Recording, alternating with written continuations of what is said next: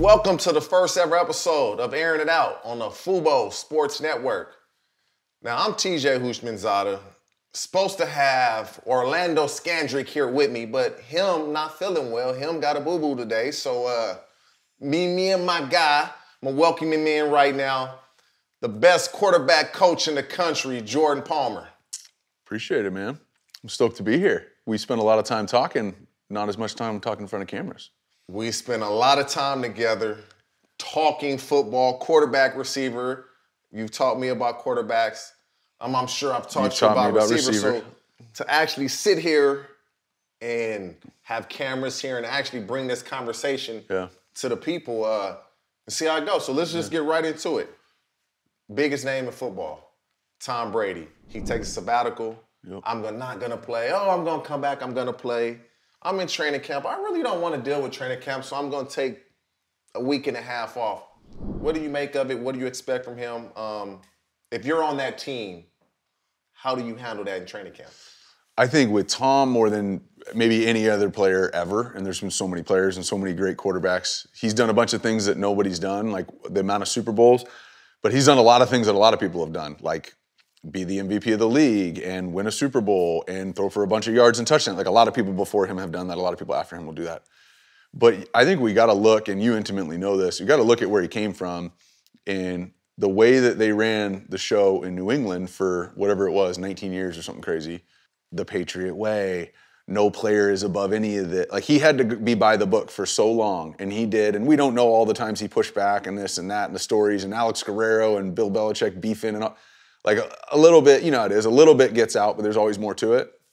But for so many years, it was do you're going to do what everybody else does. You're not going to be any different. And then he gets to go and pick his spot, go to Tampa, has success right away. Obviously with the Super Bowl, was it two years ago?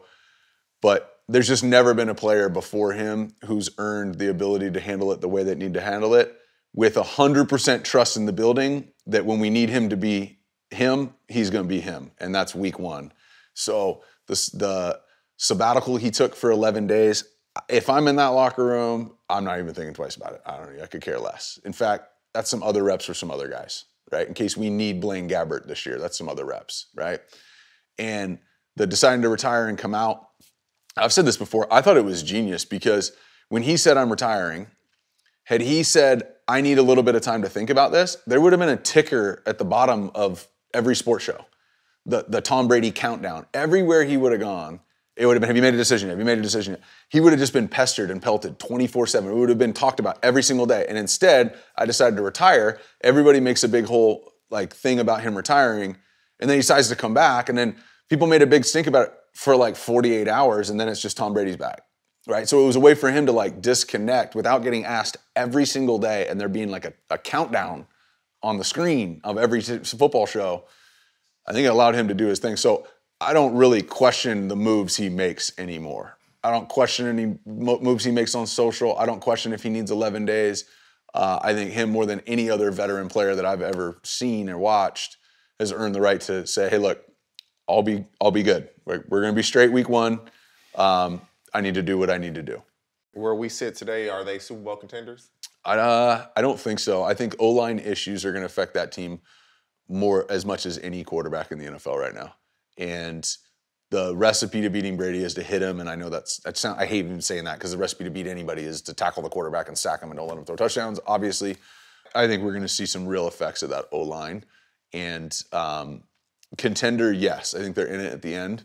Um, and they just kind of, it's not the yards he throws for and the touchdowns. It's not the throws he makes. It's just that like they always kind of find a way and things kind of line up for them. Kind of like the way that like things lined up for for uh, Cincinnati last year. You know, they get the Raiders in the first week. The second week, you know, they're playing Tennessee, which is the number one seed. But like, was that the number one team in the AFC last year at that point? No, it kind of worked out that way, but that wasn't the best team. And then the quarterback throws three picks in the game. You know what I mean? And then they get to Kansas City, and it's the first time we've ever seen Patrick Mahomes completely melt down for a whole half of football and just play terrible. Like so, like that was a new thing. So to win a Super Bowl, to make it to the Super Bowl, like things got to line up. I just feel like they do a lot of times, and he puts them in a position to capitalize on it. So are they a contender? Yes. Like, are they in my top four teams? I think can win it. I, I don't. I think their O line issues are going to be a big problem. They just did the top 100 players in the NFL. Brady comes in at number one. You agree? I don't. I, I'm surprised. I'm Wow, surprised. I don't agree either. and I, love Brady. Yeah, I, I love Brady. I, I'm I'm surprised he was the number one quarterback. You know, one I'm one I'm surprised that Aaron Donald's not number one Okay, we agree with that. because nobody just dominates the game. Like Tom Brady had a great year last year and wasn't even MVP. You know what I mean? Um, and I understand it's a different voting, but one, I was surprised that Aaron Donald wasn't number one, and I was also very surprised that Trent Williams was that late because I think he's top two or three players in the league. Uh, but it's O line. But Brady wise, yeah, I'm surprised. Like no matter what Aaron does, I mean, Mahomes was number one last year, and and and uh, Rodgers was the MVP because it's supposed to be last year. You know what I mean? Like last year, rank these players, right? Not body of work, right? Because like I remember when they did this, and Peyton Manning was hurt the year before. Like he was number eighty something because he didn't play. You know what I mean? I was surprised that Lamar Jackson was so high because he didn't really play last year. So I think, you know, we, the the parameters for it is what do you last season who was ranked what. I think the Brady it's a Brady effect of people are looking at the accumulation of work or the way that he played at that level at that age. Um, but yeah, if I if I ranked him, uh, he wouldn't have been one. Let's go to Dallas, Lone Star State.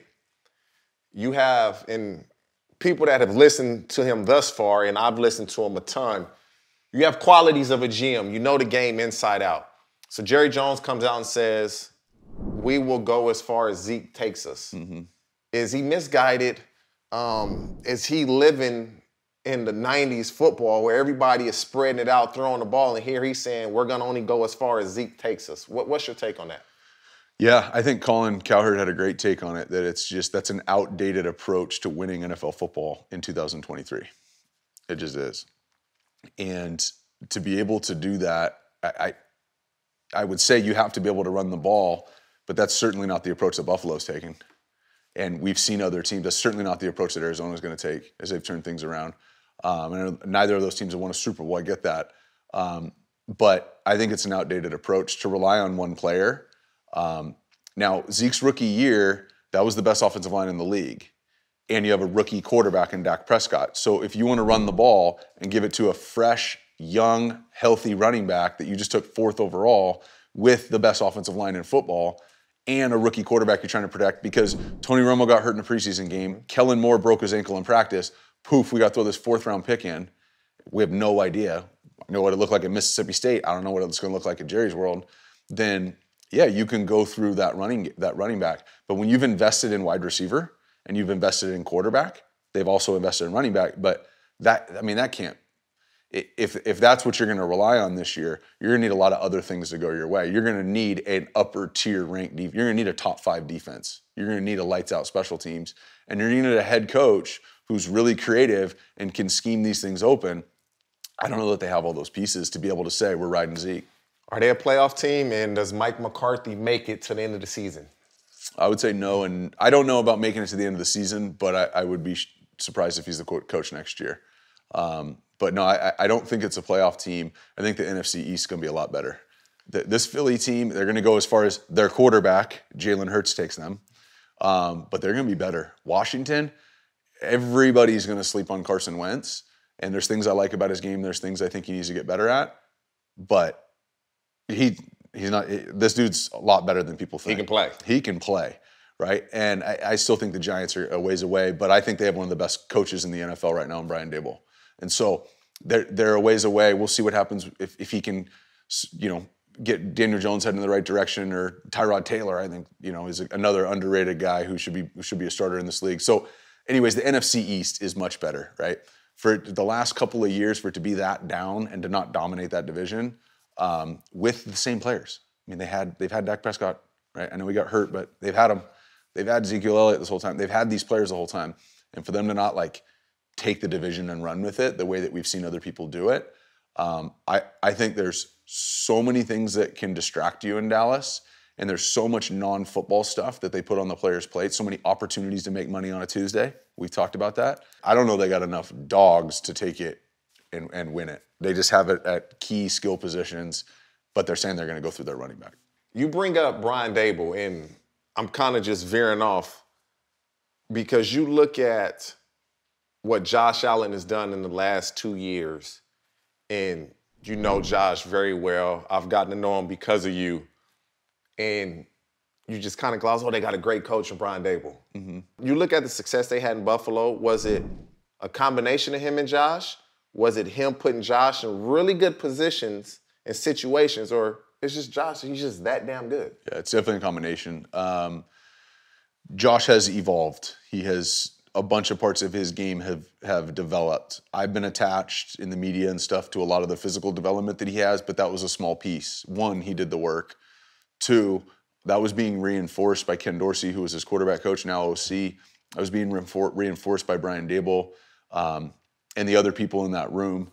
Uh, the backups who've been there with him his rookie year, Derek Anderson, Matt Barkley these last few years, Davis Webb played a role in that. Mitch Trubisky last year played a role in that, and so the development is is all the pieces coming together. But Josh has unbelievable recall. So when I, I do draft training and when I when I do these, a lot of times like I can prepare guys for the meetings, but a lot of times they'll go into a meeting and they'll introduce 14 people in the room to the young guy, and then they'll talk ball and they'll ask him questions, they'll interview him, and then at the very end they'll be like, "What was everybody's name and job?"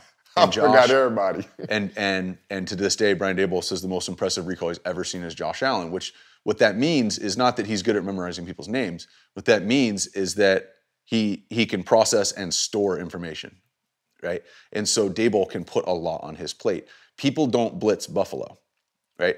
The reason they don't blitz him is it's not because he's got a quick release. Like that's an element.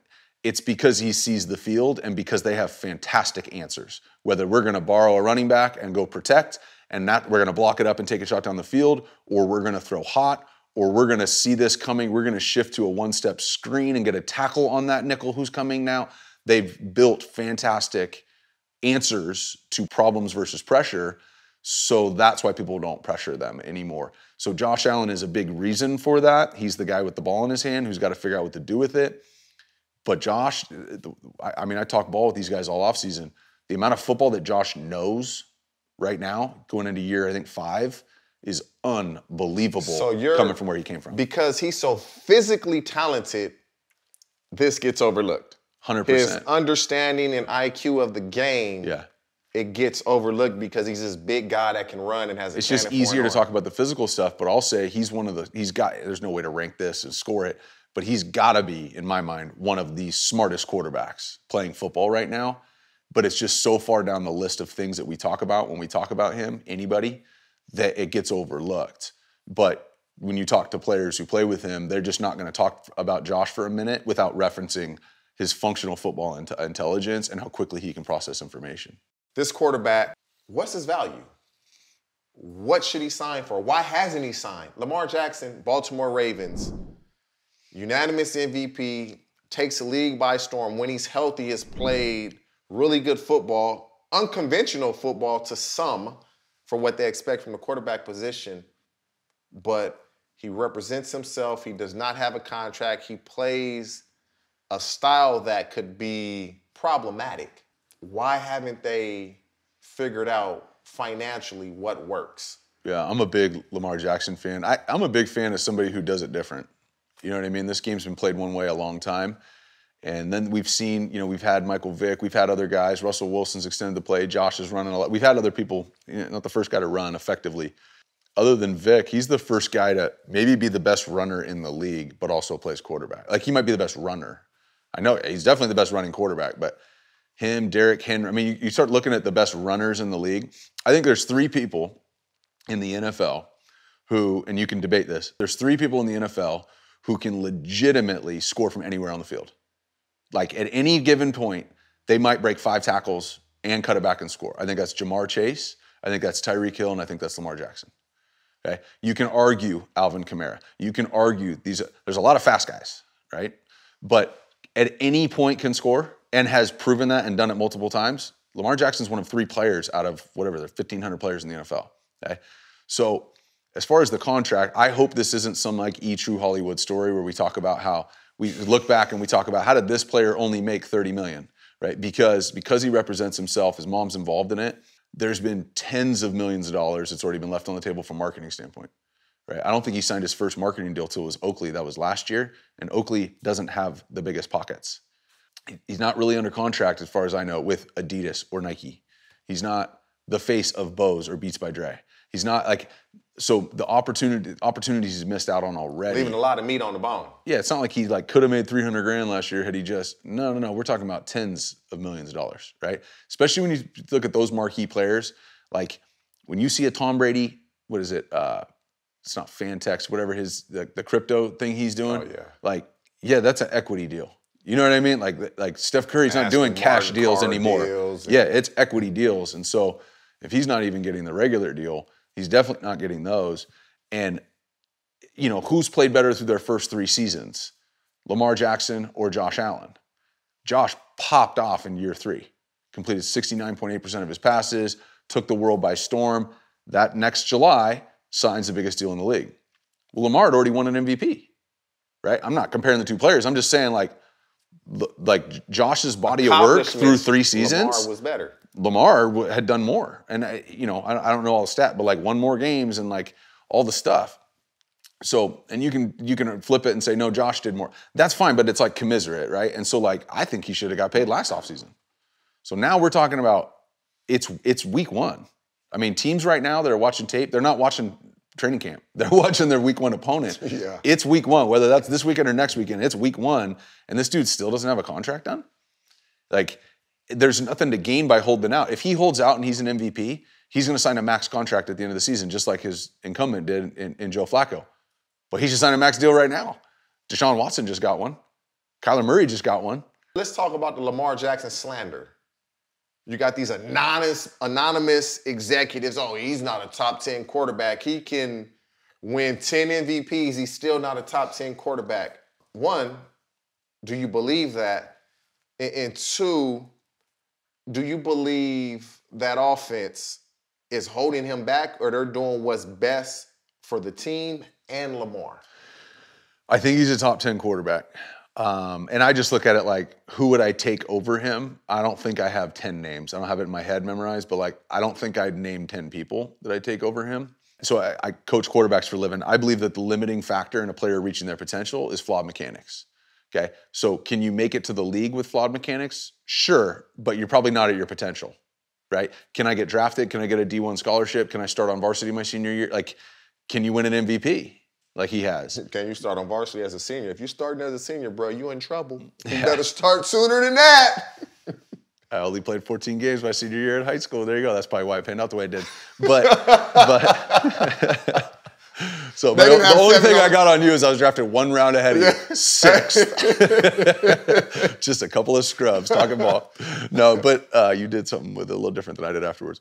But um, but with that, I believe the limiting factor in a player reaching potential is flawed mechanics. And so I just see Lamar as one of the best players in this league, arguably one of the best runners, one of the only three people who can score at any point um, in a league full of fast people, right?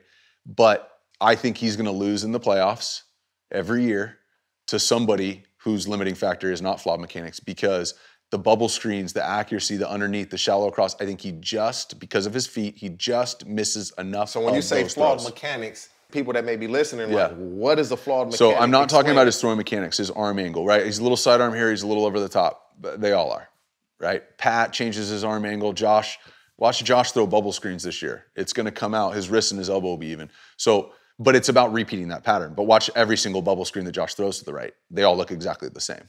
Aaron Rodgers has his own mechanics, and his feet come out of the ground when he throws, and he does this and that. Yeah, but he does it exactly the same every single time.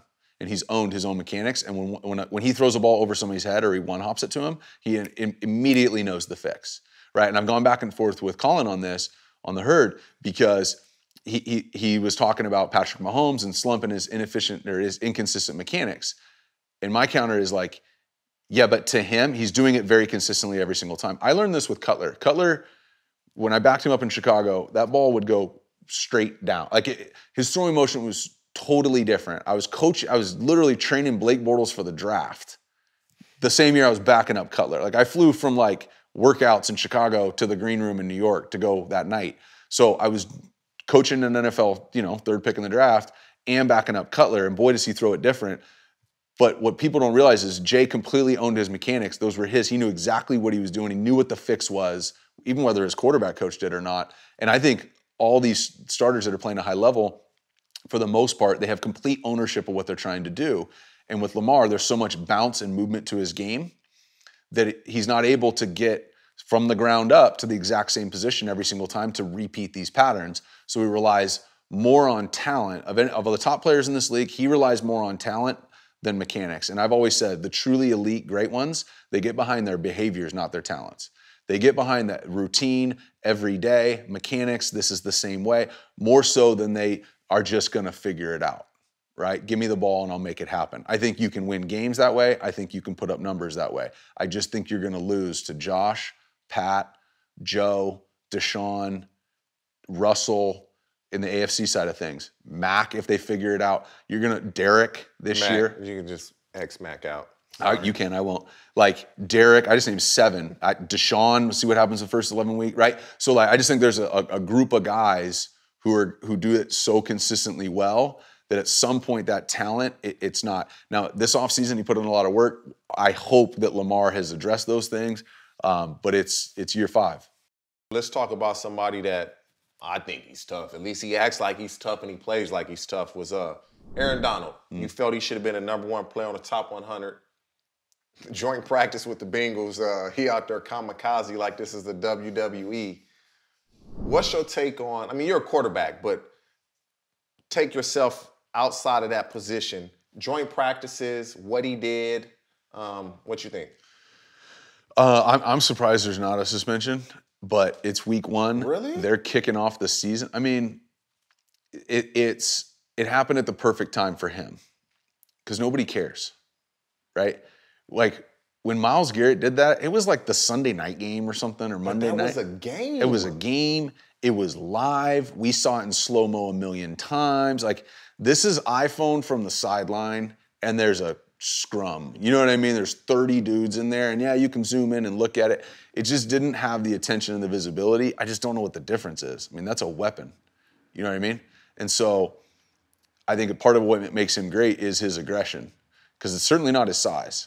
I mean, I, I was with that. I mean, I was at training camp. Like, you go around Aaron Donald and you look at him. I don't care if his shirt's off or not.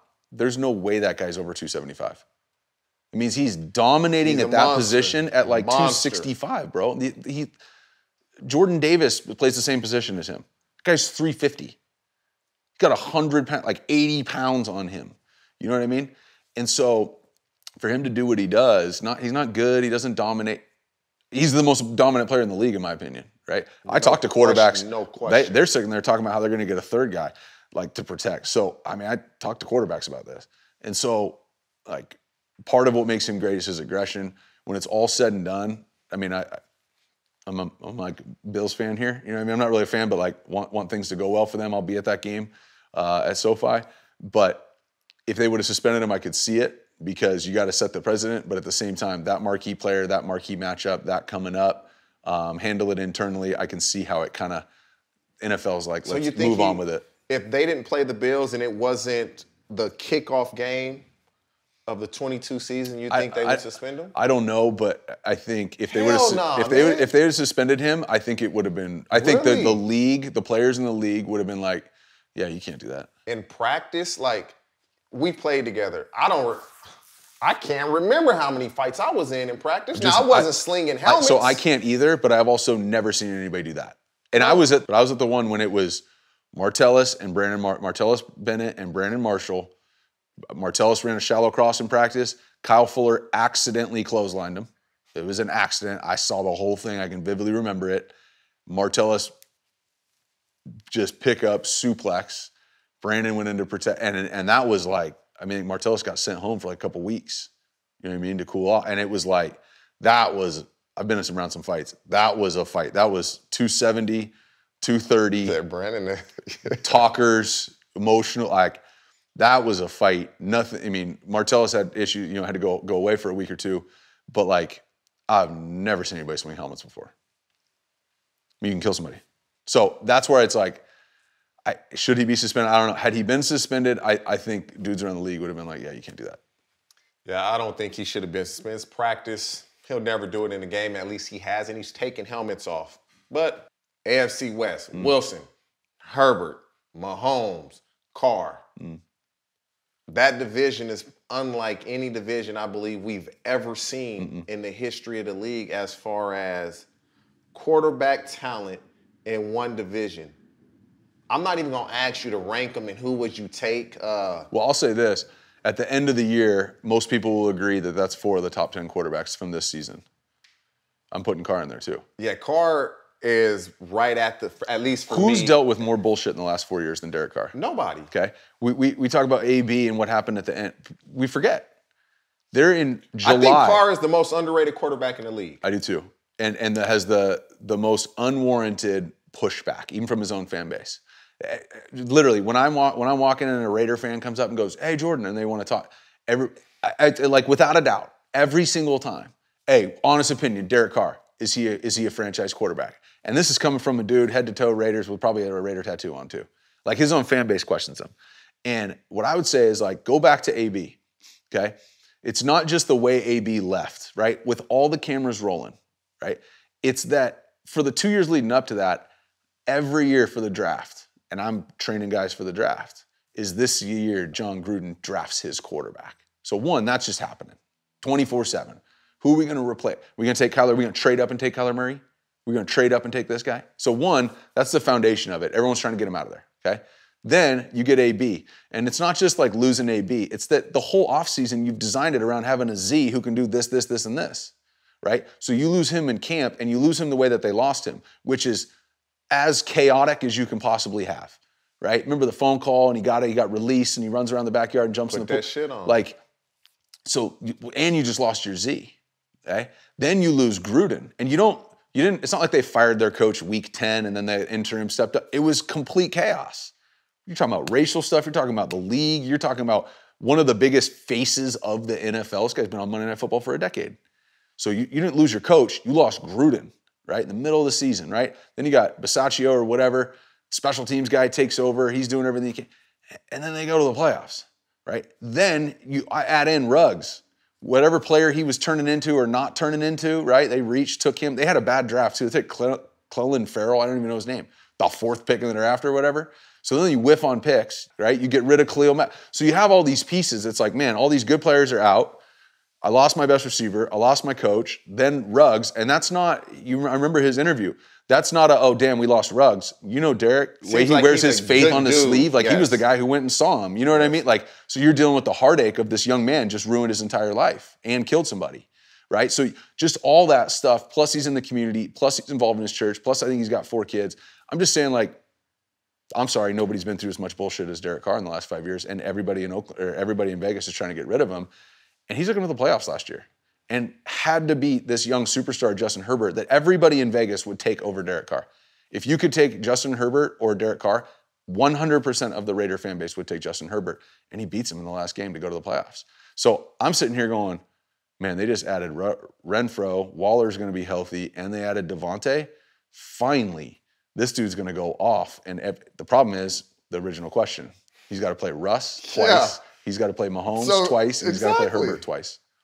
You train or you have trained some of the best young quarterbacks in the league. Josh Allen, he, he's still young, but people would consider him a young veteran. You talk young guys, you talk Joe Burrow, Trevor Lawrence. Joe comes out and it's just, man, leading up to the draft. Uh, you better demand a trade. You don't want to go to the Bengals. Tell them don't draft you. And takes the Bengals to the Super Bowl. It's like comes off an ACL injury and takes the Bengals to the Super Bowl. What do you make of how Joe, first let's talk Joe, has turned, I mean, he's literally turned Cincinnati around. I literally think they have a legitimate shot every year now of getting to the Super Bowl because of Joe, mm-hmm. his mentality. You agree? Hundred percent. Man, I'm as connected to that. What's happened there is anybody. I mean, one, I played there for four years. It's the same people. It's different coaching staff, but whatever. It's the same ownership. It's Nick Cosgray doing rehab. It's Jeff Hobson interviewing you at your stool. I mean, it's so I intimately know that building, that organization. I intimately know this player, right? Been, been around him since college. I know what it takes to win there. I didn't just play there. I backed up my brother, who's the last guy to win there, right? And, and put up those types of numbers and have a top three offense a lot of those years, right? You, I'm not saying you don't intimately know this, you know it a whole different way, but like I intimately know this entire situation. I still cannot believe in his second year he took him to the Super Bowl. I still can't believe that. And I'm not saying I didn't think it would ever happen. I just, I just Not this real talk. I was like second year, Yeah. and um, it just shows you, you know, when a quarterback, when the when the organization takes on one player's mentality, it's the LeBron effect, right? When one player can actually shift those things, and it's not that those there weren't those other type of leaders. On, it's not to say that Jessie Bates didn't think Dude, that he's a different dude, man. Joe is different. Like people, like he's just di- like I've been around a lot of the quarterbacks you trained. Nobody acts like him.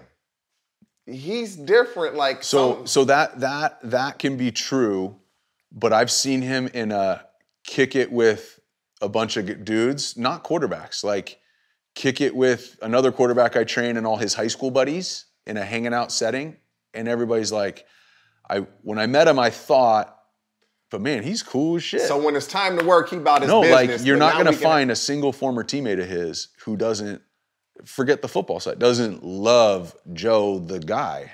You know what I mean? So he's not a robot, right? He's not a drill sergeant. He's not yelling like he can kick it and talk about hip hop and video. He's a gamer, like video game, like he's that's the one two two things happen when people meet Joe. One, they go, Man, you're a lot taller than I thought. And then two, they go, Man, you're cool as shit. You know what I mean? Or they say that guy was cool as shit. Joe's different. I don't know. They're all a little different, right? And so, for the way I see it, they're all they're all different versions of the same thing. Um, but that that mentality, you know, you add Ja'Marr in, had the same mentality, right? Because this this team, you got to think about when they won the national title, we just buzz past that and go, yeah, they were unbelievable on offense and they killed it and they were a great team. But hold on, when they were six and zero at, at LSU, no one in that building had ever been six and zero. When they were 8 and 0, no one in that building had ever been 8 and 0. You know how easy it is for these young dudes, especially in New Orleans? Like, they got family who's like dapping them up and like, hey, you already made it. You're, you're going to the league and agents and all this stuff. Like, it's so easy to lose focus when you're not in an organization who wins it every year. The last time LSU was good was my year with JaMarcus. From 2007 to the year they won the title, it was whatever that is, 13 years of like, they're not that good. They got dudes going to the league. They got great players, but they're not like in it. They're not They're not gonna, champions. not gonna beat Bama. Nobody's picking them preseason to win it. They didn't pick them that year to win it. And so Joe, he had already had the experience of taking a team that had a lot of really good, talented players on the roster and an unproven new head coach and Coach Orgeron. He already did that, right? Yes, he played incredibly well, but everybody played him. He got that, something about that. So he already had a case study. He's just like, all right, we'll do that here. I look at the secondary. Eli Apple, that guy's really good. Oh, Jessie Bates, he's a baller. Oh, Sam Hubbard can rush the passer. What's your name? T. That guy can play. Add in Ja'Marr Chase, who he's as confident. I mean, if Joe is the GM of the, of the Bengals and they had the number one pick that year, he'd have taken Ja'Marr Chase with the number one pick. I mean, they they have two good. You got Joe Burrow and Joe Mixon. If they had the fourth pick, they would have taken Ja'Marr over Kyle Pitts.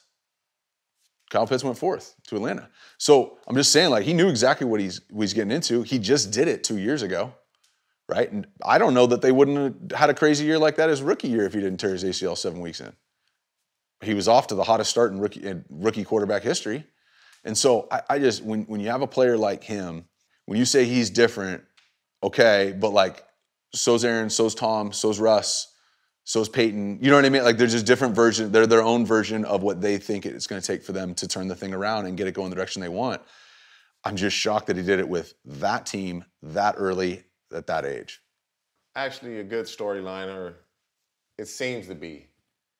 And I, you'll see where I'm going with this. I look at his shoes; they're the color of the team I'm going to bring up. Baker Mayfield. Uh, I like Sam Darnold because of you getting to know him. I think he's a hell of a person. I felt like when they traded for Baker, it wasn't a competition. They were giving Baker the starting job regardless. How do you think he plays this season? Uh, considering the first game of the season, you're going against your old team. Can he Yeah. Keep his composure? I mean, if I if I comment on how I think the competition went, there's going to be an assumption that that's because I because I talked to Sam. But we we already know But- that when they traded for Baker, he was going to be given the start. It was, Yeah. it's not a competition. Yeah. I'll say that, and I don't even reason- talk to Sam. Yeah, it's the same reason they brought in Cam at the end. I mean, you got, okay, let's let's keep give this reason this fan base a reason to continue to buy in. I also look at just what Tepper's doing. I mean, I saw something that he fired his got a brand new soccer team, fired the head coach like six games into the, a brand new team. So it's like this dude's wheeling and dealing right now, right? Just swinging, right? They took a shot at Deshaun, didn't get it, right? So now you reach this. Unfortunately, this is the perfect offense for Sam. The way that Ben McAdoo does footwork, I I talked to Aaron this offseason. I talked to Eli this offseason. All these guys who played for McAdoo, like it's perfect for Sam. So I'm heartbroken that he didn't get a chance to, or so far hasn't got a chance to be able to be the guy and do that. But in my opinion, to go get Baker, it was a all right. Baker's our guy. Now justify it with playing. Okay, cool. We'll roll forward. But shifting over to talk about how I think it's going to go for Baker, remove Sam from it. I, I like data points. I like looking backwards, right? When you're trying to predict something in the future, and You like behaviors. I like behaviors. Yeah. Um, that'll be a separate conversation. But but for this, like we know how Baker Mayfield responds when his back's against the wall and he's got a chip on his shoulder and he's been counted out. This guy went to two different colleges. Okay. Both the head coaches at those colleges say, I got a hundred scholarships. I just don't have one for you. So he had to walk on twice. Okay. And then he was a Heisman finalist three times and won it once. So when everybody counts him out, I actually think you get the best Baker Mayfield. So then he goes to his rookie year and he's offensive rookie of the year, whatever he was, great year, broke some touchdown record, all that stuff. Then what did he do that offseason? Broke, broke the NFL record for commercials in one year, right? I think he had a problem with success. I think he's world class at handling adversity. I think he's had a problem dealing with success. Not really. A lot of times guys have success. and If they've never had it like that before, you can talk trash on them. You can say what you would do if you were them, but the reality is they're in a situation they've never been before. And a lot of us, as human beings, we get put in a new situation. If we're not 100% sure how to handle it, and we're, there's some a fear of the unknown, it's hard for us to be confident in that situation. And all of a sudden, poof, you do or say something that you didn't really, or you or you don't put the work in, or or whatever. You, you're not the best version of yourself. Everybody's been counted him out. Right? The amount of positive stories that have been written about Baker Mayfield in the last 12 years, I can count on one hand. Okay? Everybody's counted him out. And he is a guy who doesn't, I don't think he blocks out social media. I think he reads that shit. To some extent. I think he, he way or another, I think he's the type of guy who probably hears it because he uses it as fuel. So take Sam out of it. Now looking at this, I, I think we're gonna see some good ball out of Baker. If I just look back, when everybody's counted him out has been when he's at when he's been at his best. And you don't get counted out more than a team trading to replace you, doing whatever they can to get rid of you for as cheap as possible, and there's only one place that really wanted him. That's as counted out as you can get for being a franchise number one pick five years ago. Quick one liners before we let you go. If you don't want to answer it, don't answer it. Best arm in the league. Best arm in the league, Best arm. Josh Allen. Game on the line. Who you want as your quarterback? One drive. I'm gonna say Pat just because the season ended the way that it did last year. 25 and under. Who you starting your team with? Josh. Ah. I don't have one answer for that one. Okay, Because all right. I'd say Joe too. Okay. You're playing a Super Bowl. Who you want to be your starting quarterback? I don't, I don't know. The show has pretty much been quarterback heavy. Give me your top, let's, let's say top 10 quarterbacks. Everybody goes top five. But I think once you get five, six, seven, eight, nine, they're interchangeable. Give, and it does not have to be in any order. Yeah. That have to go one through 10. All right, I got to Give me your it. top 10 quarterbacks. Let's get the easy ones out. Yes. Let's get Brady, Aaron, Josh, Pat, Joe. So there's five. Um, Russell's going to be in there. Uh, I'm going to put Stafford in there. The way that he's played, Mm-hmm. not just this year, all those years in Detroit with nothing around him, the toughness, the playing in a team that you know is not that good, and but, but he was all in. I've anyways. always thought Stafford was a I think really I good think I think Matt Stafford and Carson Palmer have been the same thing up until this point. You know what I mean? Number one pick, tiny market organization that's always lost, small fan base, and balled out in secrecy, and then got a chance to go have a better run at the end. Carson's ended at the NFC Championship. Matt's ended with a Super Bowl and with more to be played. Um, Derek Carr is going to be in my top ten, I think. Mm-hmm. Herbert's in there. I don't know where I'm at. Eight. That's you got one more. All right. So what are my choices here? I got Lamar. I'm going Lamar. I got Dak Prescott. I'm going Lamar. okay. TJ's going Lamar. You Lamar got- is in Let's just throw names out. So you, I haven't said Dak. I haven't said Lamar. I haven't said Kyler. I don't think Kyler has done what Lamar has done. So if Lamar's not in there, Kyler has I no agree. chance. I agree. It's probably Lamar, but I just want to go through who I've who I've skipped because I probably just skipped somebody where it's like, oh shit. Um, this just Matt Ryan's in there for me. Nah, Matt Ryan ain't better than Lamar Jackson. Not right now, he isn't.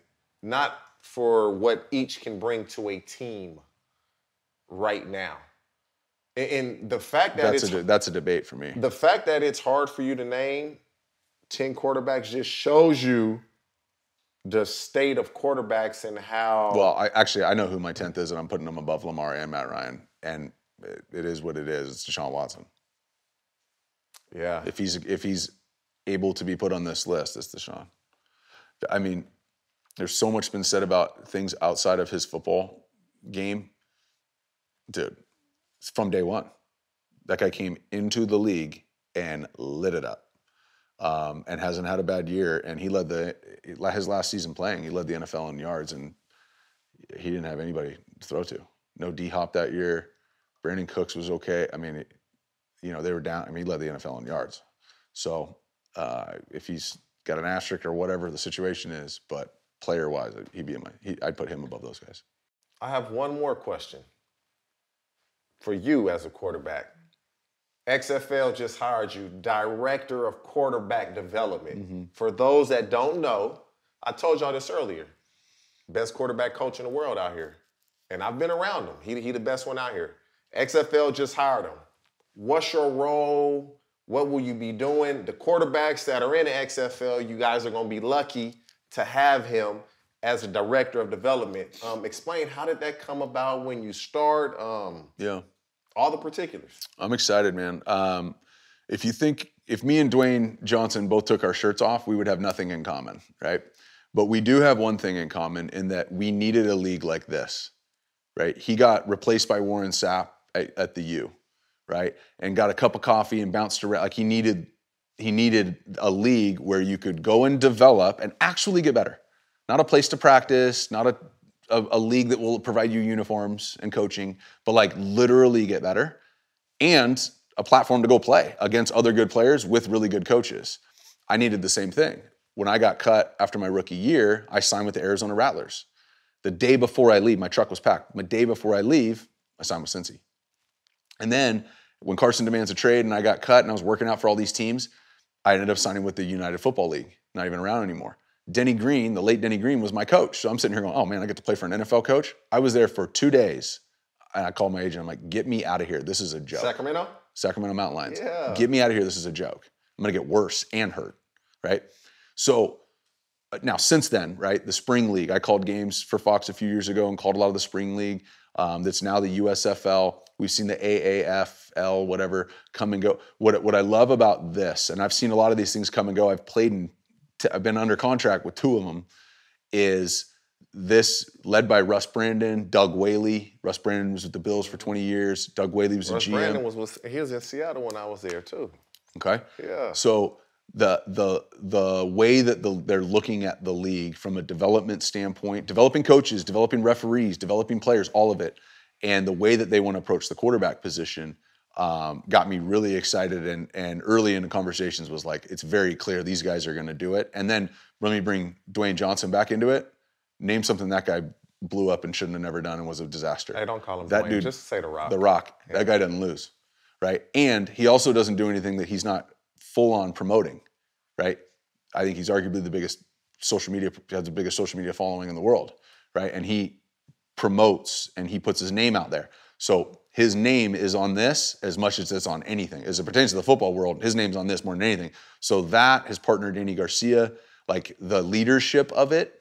We don't know who the quarterbacks are yet. We don't know who the, you know, kick returner is going to be for the Houston. Fr- that stuff's going to get settled out. But the the leadership at the top and the development. So what I'm going to be coming in is working with all eight teams and curating a development program for these quarterbacks. So September, October, November, December, the off season, Every quarterback under roster is getting sent out to me in Southern California, and we have phase one, phase two, phase three, phase four, all the stuff that you've seen me do with draft training and with my NFL veterans. Now, when you're under contract with the XFL, you get full blown access to Oh, come out to me. boys gonna get y'all lucky. They're going to get a little bit better. Yeah. Uh, and then I'll curate that with the team. So I'm not a quarterback coach. I'm not going to be, you know, on the on the sideline telling him where to throw it. Uh, I have no connection to the, the playbook. I want their coaches to coach them, um, and offensive coordinators to weigh in on those things. But from a development standpoint, where I focus on the movement and the mechanics, Now, those two things will get better. Will it be every quarterback in the league or Yeah. just the starting quarterback? No, it'll be every quarterback because we don't know who the starter is going to be in the offseason. And so part of that's a competition element. And then I'll be like like during the year right now, How I've, did this come about? Like, I got I just got approached by them. okay. So Um, when you're the best, that people want to be with the best. And and so what I do a lot of times during the season, right now I had three this morning, is I'm zooming with NFL and college quarterbacks. In some cases, the quarterback and the quarterback coach and the coordinator and the strength coach, and we're curating what we've been doing this offseason, how to add that into individual period in practice, during special teams period in practice, after practice, what's the quarterback going to work on for 10 or 15 minutes? We curate that program. I'm watching practice tape on 15 different teams right now. I have access to their practice. So I'm watching practice, curating what the quarterback needs to work on next week. So we'll be able to take that into it. So rem- like because of COVID and, Zoom, and every kid learning how to Zoom, uh, remote coaching is like a real thing. I mean, during the season, I'm going to be spending, you know, j- with just college and NFL clients, you know, 20 hours a week between watching tape and then come, uh, cur- curating the curriculum for the year. there you go. Best quarterback in the game, best quarterback trainer in the game, Jordan Palmer. Definitely not the best quarterback in the game. Fubo Sports Network. Appreciate you guys. Uh, first ever episode, Orlando. we missed you, bro. We don't know where you at. Hopefully, him feel better. But Jordan Palmer, man, appreciate you. He my dog. We work together, been working together, gonna keep working together. Y'all better come get this great training. If y'all knew better, you would do better. Holla at your boy. We out.